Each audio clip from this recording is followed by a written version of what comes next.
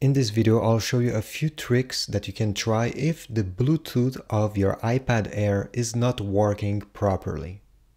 So the first thing you can try is to go in the settings here and then on the left side, just scroll down until you see general.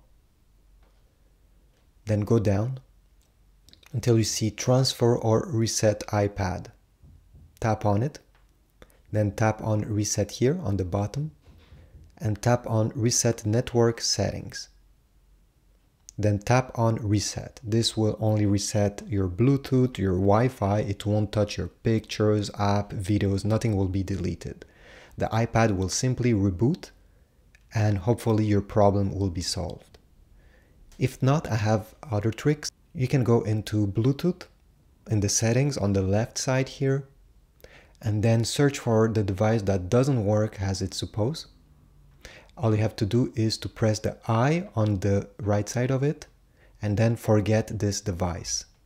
Tap forget again, forget again, and the device will be removed and you'll have to pair it again with your iPad Air and hopefully it will work this time. Another thing you can do is to uh, simply turn on and off Bluetooth a few times.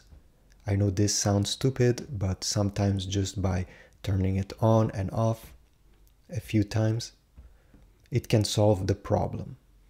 Finally, the last thing you can try is again in the settings here, go in general and then go in software update.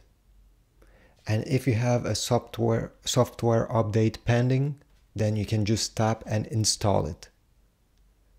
If any of this trick don't work, you should probably contact Apple and see if they can repair it or exchange for another one.